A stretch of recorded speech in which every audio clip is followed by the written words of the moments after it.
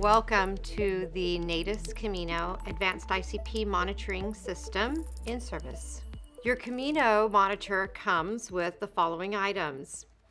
A user manual, a flex extension cable, a CAM cable, a PMIO MPM cable, your power source, a lithium battery, and your power cable with appropriate geographical adapters, and an export cab.